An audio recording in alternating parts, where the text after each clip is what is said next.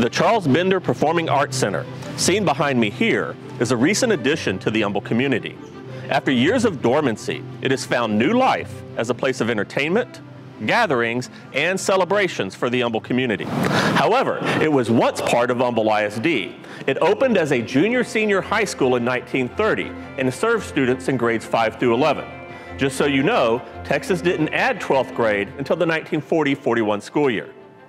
The building was recognized as an innovative design, partly because it had its own cafeteria, which most schools didn't have at the time.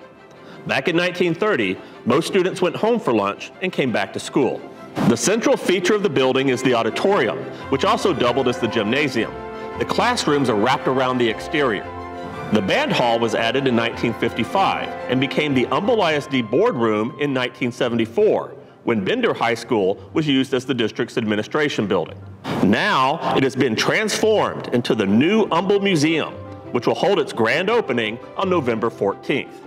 The museum details the history of Humble since inception to now. Of course, Humble ISD is a big part of that history.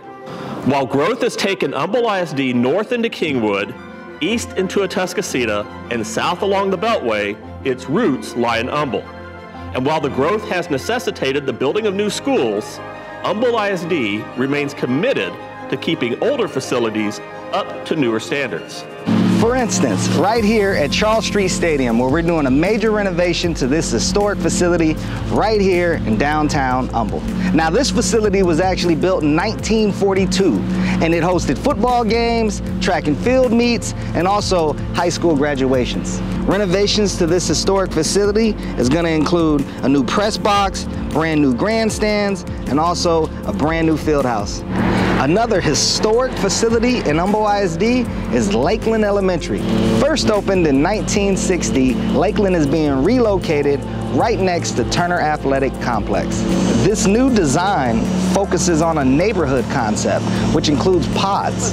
These pods facilitate and encourage learning and collaboration outside of the classroom. Since 1995, Quest High School has always shared a space with another campus. Now, its new location on Will Clayton Parkway, Quest Early College High School finally has a place to call its own.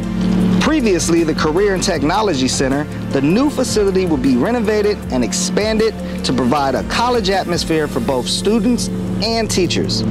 Pretty appropriate for an early college high school, right? Another exciting renovation project is Humble High School. Built in 1965, it has had numerous modifications and additions throughout the years. But now, we're taking it to the next level. Humble High School is being updated to a modern learning environment where technology, collaboration, and innovation are at the forefront of the education experience.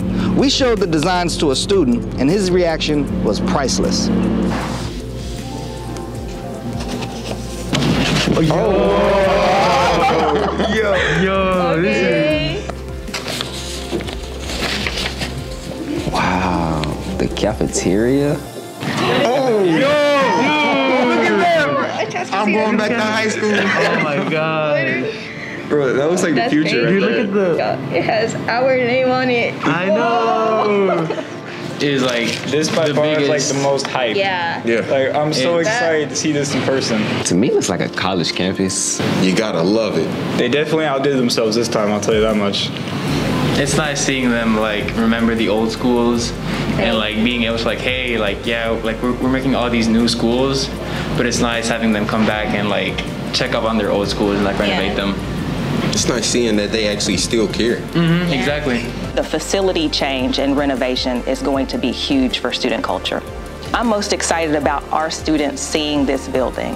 Uh, after seeing Isaiah look at the photographs um, and the emotion that that brought to me, I, I look forward to seeing that look on every person's face when they walk into the building, uh, when they pass by the building. Uh, it's just going to build on the rich tradition of Humble High School and Humble ISD in an even greater way.